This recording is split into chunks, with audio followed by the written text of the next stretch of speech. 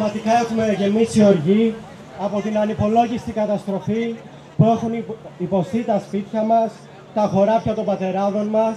Έχουμε γεμίσει από οργή μπροστά στις εικόνες του κόπου, του υδρότα, των οικογενειών μας να βουλιάζουν από τις πλημμύρες που έχουμε χτυπήσει τις περιοχές μας.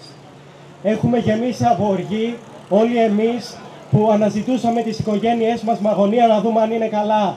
Έχουμε γεμίσει με οργή όλοι εμείς από τις φωνές των γιαγιάδων μας που φώναζαν βοήθεια όταν το νερό έμπαινε μέσα στα σπίτια τους.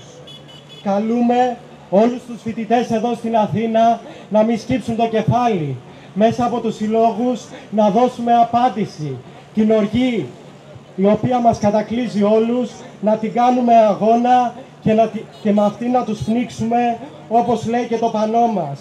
Η τεράστια καταστροφή οφείλεται στην πολιτική που έχουν, της σημερινής κυβέρνησης που έχουν ακολουθήσει όλες οι προηγούμενες, που βάζει τα κέρδη των λίγων πάνω από την προστασία των περιουσιών, των σπιτιών μας, του βιούς μας του ίδιου, του φυσικού μας πλούτους.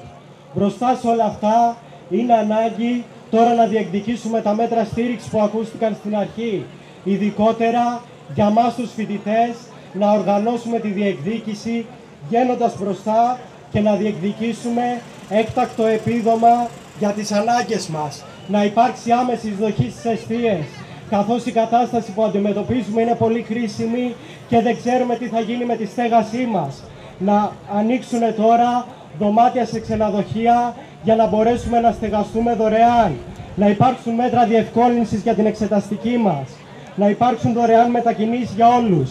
Ενημερώνουμε τους φοιτητές, οι οποίοι τώρα τραβάμε όλες αυτές τις δύσκολες στιγμές, τις στιγμές αγωνίας και άγχους και οργής, τη Δευτέρα να είναι στις σχολές τους, στα σημεία συνάντησης που έχουμε ορίσει οι φοιτητικοί σύλλογοι για να οργανώσουμε τη διεκδίκηση και την αλληλεγγύη. Κανένας φοιτητής από τη Θεσσαλία δεν θα είναι μόνος. Μαζί θα τα καταφέρουμε.